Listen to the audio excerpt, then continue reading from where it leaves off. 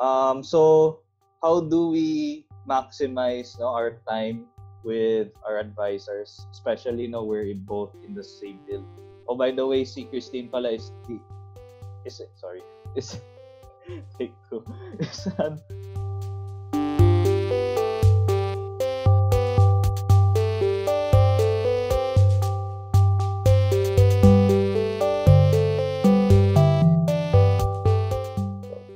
hello everyone. So welcome to our new episode for Wealth Marquee. So wala si Sir Fitz at si Sir Renzi as you can see. Nagano sila. Um, medyo busy at baka nagbabakasyon sa bahay. so we have a special guest right now from True Life UK, si Christine.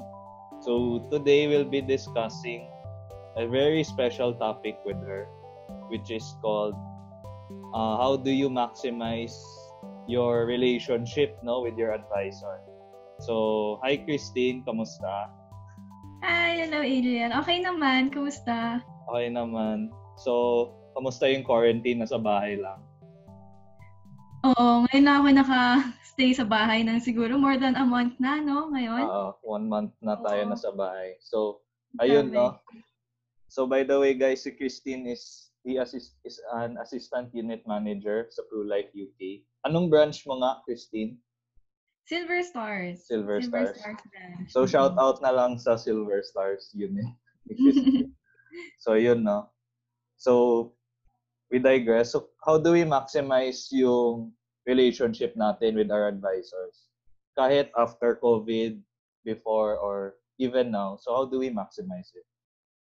Siguro yung napapansin ko kasi with my clients, minsan that na hihiya sila magtanong ng questions regarding mm-hmm. sa policy, or kunyari regarding sa new products ng company, mm-hmm. or kunyari may lumabas lang na news regarding sa, like yung sa COVID, kung ano ba yung mga uh, coverage natin na pwede magamit for COVID. Minsan mm-hmm. kasi feeling nila, once na may policy na sila, parang mm-hmm. kailangan, alam na nila yung buong plan nila. Mm-hmm. Pero syempre, di ba may iwasan na minsan may makakalimutan ka. Syempre, comprehensive yung uh, plans na. Yes. May mga small details na important pala, tapos nakalimutan nila minsan, nahiya na sila magtanong.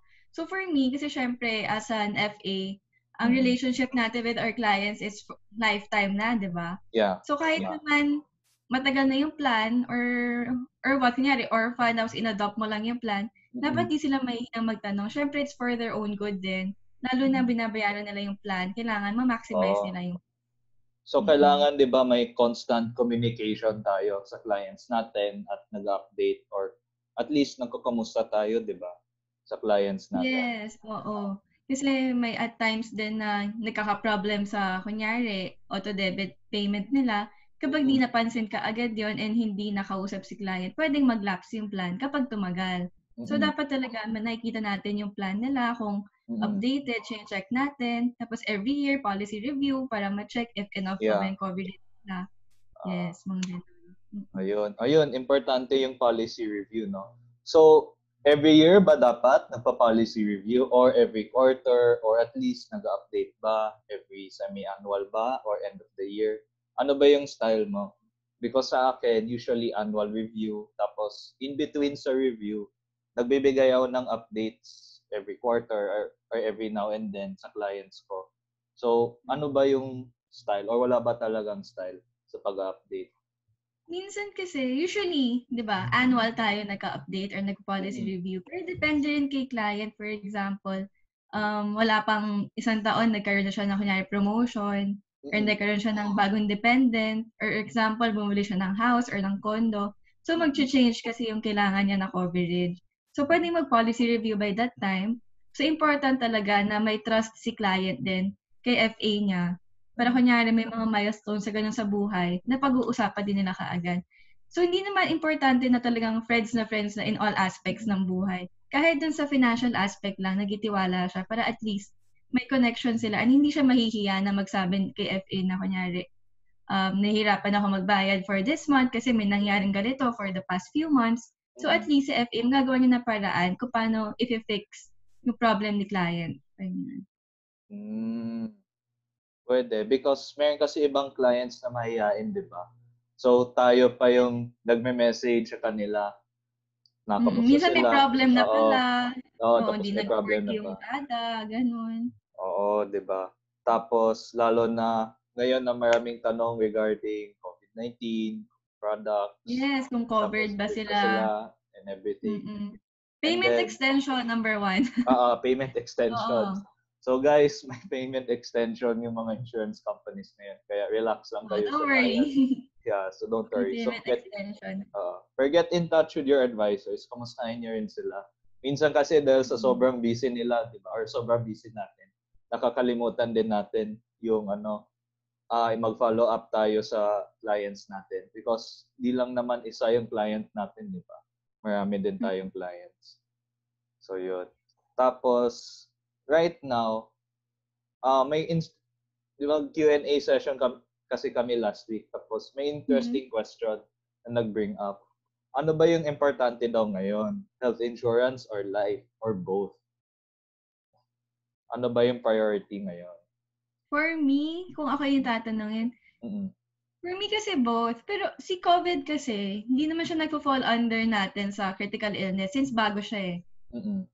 So, ang nagko-cover lang sa kanya, sa amin sa PRU, ang magko-cover lang is yung daily hospital income. So, parang daily hospital allowance lang siya. Mm-hmm.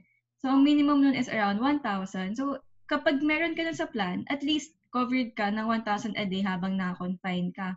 Mm-hmm. Pero si life insurance kasi, once na may mangyari sa'yo kay, go- kay COVID, syempre, hindi natin may iwasan, mayroong mga namamatay, ganun. Mm. covered ka ni life insurance. So, kung ano man yung bills mo sa hospital, kung di man ma-cover ni PhilHealth yun, pwedeng ipambayad yung life insurance mo dun sa bills sa hospital. And as well, pwede sa family mo, magagamit nila yung money. So, yung dalawa kasi, for me, magkaiba yung tinatamaan nila eh. Yeah. Hindi sila same ng ibibigay sa'yo na coverage. Magkaiba kasi since yung isa, parang living coverage yung isa, yung health, pang health insurance, is magamit mo siya for treatments. Mm-hmm. Then yung life naman kasi is for your dependents. And kung may matira man sa hospital bills natin, pwedeng magamit si life insurance. So, ngayon, mas mabuti talaga na ready na lang for the both. Kasi since magkaiba naman sila ng tiyatamaan na coverage, for me. Mm-mm. Mm, because for me, my take is, depende kasi kung anong situation ng client ngayon. Is it mas mm-hmm. importante ba yung priority kumuha ng health insurance?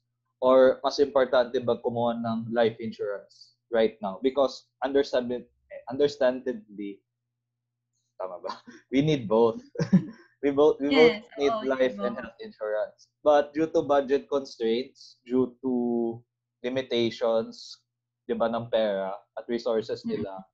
And depende pa yan kung single, married, single parent, etc. Yes. At saka so, sa age. Age. Oo, depende pa yan. Kasi sa, ano. insurance eh. Oo. Kaya pag tumatanda na. Mm-hmm. So, depende kung ano yung profile ng client. Doon, mm. magiging customized yung basis. Kung basis ng solution. If it's, unahin ba yung health, tapos later yung life, or we do both, or unahin yung life, then later na yung health. Because uh, may certain prioritizations kasi right now in terms of budgeting, lalo na constraint yung budgets natin ngayon, even after yes. or before, even before this pandemic, may budget constraints na kasi yung client, tapos depende pa yan sa profile. Kaya, Mm-mm. usually, yung recommendation dapat tailor fit sa needs ng client tapos, budget din talaga. Uh, depend, dapat budget sensitive din. Because if we insure both, tapos, di ba, kumakain ka na ng bulad every day. Hindi naman yung pwede. Di ba? Tapos, yes, nagugutom ka. So, ikaw din yung, alam mo yun, mahirapan ka eventually sa finances. Tapos, lahat ng prioritizations, mahirapan ka. Mm-hmm. So, one at a time. Oh, yeah, one at a time. One at a time. Kaya I think mas importante rather than focusing on getting, di ba, more insurance, it's about improving yung cash flows natin. Having the yes. multiple streams of income. Because if we increase our own streams of income, the more options kasi that will open up for us. Not just for your insurance, but other investments din as well. Tama naman, di ba? Yes. Yes. Oh, and dapat kunyari na-promote, syempre may increase sa salary, 'di ba? Huwag ka agad mag-change of living style na kunyari na-promote lang, bibili ka naman ng ganito, bibili ka ng ganito. Yun Oo. pala madami ka pang backlog na kailangan mo asikasuhin sa finances mo. Mm-mm. So, yun, yung number one, kasi syempre tayo, di naman may iwasan. Kahit tayong FA, di ba, kapag Oo. malaki ng income pa lang, uy, ang dami kong extra. Pero yun Yeah. pala, di mo na-check, ang dami mong kailangan pang i-asikasuhin before yung mga wants natin. Na dagdag pa. Mm. Actually, na-bring up mo yun, di ba, yung lifestyle change. So, we have a video regarding Yes. that. sa Wealth Watch Arcade. niyo yung video. So, may sa playlist, tingnan niyo yung ano namin, video about when to change or when to upgrade your lifestyle. Ayan. Mm-mm. Ayun. Sige. Very Tapos, helpful. another concern right now is, di ba, yung mga VULs ng client. So, part din Mhm. to, di ba, sa relationship natin ng clients natin. So, Mm-mm. what do you tell clients regarding their VULs right now? Because napansin ko for the past two Q&As, marami nagtatanong sa VULs nila kung magpa-fund switch ba, or ikikip ba nila, or ano paano ba to, i- i-redeem na nila yung fund value. So, ano ba yung proper approach sa VULs? Mm-mm. Um, for me kasi si VUL, hindi naman siya binenta as an investment product eh. Mhm. Insurance Yes. product siya. So, Mhm. yung funds natin dun sa VUL is used din para ma maging, para ma-sustain yung plan in the long run. Mhm. Pero since ngayon nga, baksak yung stock market, so may possibility na bumaksak yung funds natin sa VUL. Mhm. Ang ano lang is mag, wait lang, stay lang sila. Huwag na nilang, huwag na nilang kuhanin yung pera since may time naman natataas din si stock market eventually. And yung money na kasi na yun, hindi naman natin siya ginamit for investment um, purposes.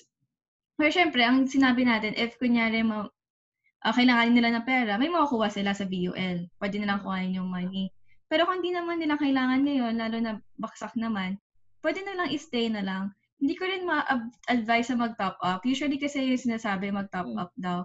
Kasi for me, mas kailangan ni client ng money ngayong ECQ kasi hindi natin alam kung ilang months pa ba tatagal. So, Mm. important na important na may cash sila ngayon pambili ng food, kung may emergencies, may pangbayad sa hospital or anything. So, ang advice ko lang is stay put. Huwag na nila munang galawin yung sa VUL nila. Um, hindi naman nila kailangan problemahin kung hindi sila muna makabayad ng premium since may payment extension tayo. Mhm. So, for now, kung walang extra talaga, stay put na lang. And wag na muna nilang galawin yung funds. Siyempre, kasi pag kinuha nila, mawawala si insurance coverage. So, Mhm. mawawalan sila ng insurance coverage since wala Yeah. nang pera yung dun sa funds, di ba? Kung nag-stay put naman, at least kahit di mo sila nakapagbayad ngayon since may payment extension, kahit baksak yung fund natin doon, insured pa rin sila. So, for me, important kasi na na-start na nila yung plan eh. So, ituloy naman nila, lalo na ngayon, medyo magulo pa, Mhm. and may tendency na magka sakit or what, at least may coverage sila for that na may magagamit. Mm. Mm. Sa bagay, because actually, kapag namomblema na sila, they can do partial withdrawal naman, di ba? Yes, Tapos oo. after pwede. naman, ibalik. Pero the one key takeaway kasi dito is, kailangan may emergency fund tayo. At hindi dapat... Number one, yeah, number one. Because, di ba, kapag may emergency tapos nag-ring na yung mga alarm bells sa bahay, di naman Mm-mm. pwedeng, ano, di ba, bibili tayo ng fire extinguisher bigla. Tapos, i-extinguish yung fire sa bahay kapag Oo. bigla lang may sunog, di ba? So, kailangan Mm-mm. always ready emergency. Ready. Oo. Tapos, another key thing is, make sure na yung VUL mo is just, ano mo yun, you're paying enough for your VUL. Because if Mm-mm. you pay too Sobra. much, di ba? Because may kasi cases, di ba? Na masyadong mataas yung premium, hindi pala nila kaya yung budget. And Yes. then, um, at- kaya parang nadududa sila if, if I should continue paying it or not. So mga things like that, I think best to have a consultation or sit down or better yet, consult with your FA. Di ba? Oo. Kaya- Pwede sila mag-Zoom meeting naman ngayon. Oo. so guys, kulitin niyo yung FAs niyo. Wag wag kayong mahiya i ano yan, kausapin yung FA niyo dahil dapat partner sila sa buhay niyo. Dahil Mm-mm. kapag hindi sila alam mo yung kap- may kasi ibang FAs na kahit kinukulit, season ng season. So kapag ganun na yung FA nyo, maghanap na kayo ng bagong FA. yes, or, pwede mo sila mag-change. Uh, change change advisor na kayo or kausapin niyo kami sa Wealth Archie because we'll help you with that din. So, yun. Um, yun, ano na ba tayo? So, baka matagal na. So, any final thoughts regarding the topic or okay ka na? okay naman na. Pero may um parang additional info regarding sa kung anong needed ngayon. Usually, sobrang helpful ngayon HMO. Mm-hmm. So, lalo na madami naman sa atin na rin nag-work from home like yung mga freelance online na ang um, employer nila is mga taga ibang bansa. Usually kasi kapag ganun, minsan konti lang sila. So, wala silang HMO for the company or enterprise na yon. So, they can get naman HMO kasi sobrang helpful din ngayon since um, ngayon, kino-cover pa nila si COVID. So, kapag may expenses kahit COVID, covered pa, pa siya ni HMO. Pero syempre, pag tagal, pwede nilang i-change lalo na kapag nag-declare na ng pandemic or epidemic CDOH sa Philippines. Mm-hmm. Pwede na nilang tanggal, tanggalin yung coverage. Yun, syempre, nasa exclusions yun ng plan eh. Pero up to now, ngayon, kino-cover kasi nila. So, sobrang laking help din since uh, malaki ang gastos talaga sa hospitals. So, yun din. Uh, actually, ano no, bringing up yung topic sa HMO, tama ka. But also make sure that you know your employee benefits because you'll never know, di ba? May group life ka pala sa yes, employer always mo. Check. Always mm-hmm. check din. Tapos may company insurance ka rin. So those things mm-hmm. helpful din. Tapos that will save you more income, ay, yeah, more cash, and then mm-hmm. that would also trim down unnecessary expenses. Ayun. Yes. So I guess, ano no, dahil masyado matagal na.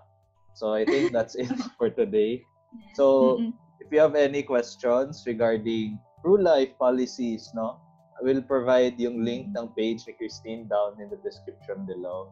So again, thank you Christine for your time. So Thank you, Adrian. Yeah, so thank you. So guys, ano, thank you for watching this video. And then if you like this video, please give it a thumbs up.